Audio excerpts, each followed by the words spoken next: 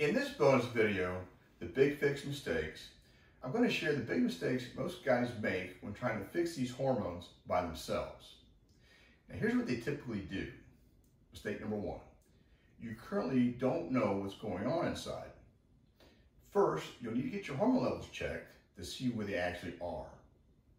And before diving into taking any supplements, prescription drugs, such as testosterone, or watching YouTube videos to get some tips, you must understand where you're at before you can approach fixing these hormones correctly, safely, and for the long term.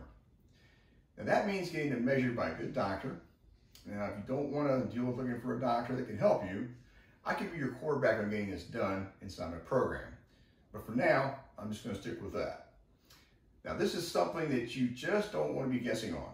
You must approach this process very smartly, and there's various approaches. So it all depends on what your lab results are. Then you'll be able to apply the correct initial framework on where to start in terms of the approach. There's not a one-size-fits-all solution. Okay, mistake number two. Getting your GP, general practitioner, to interpret your blood test results. Often people try to take their test results to their GP who isn't, in most cases, trained to effectively interpret these tests and apply solutions based on those tests. GPs are rarely specialists in this area.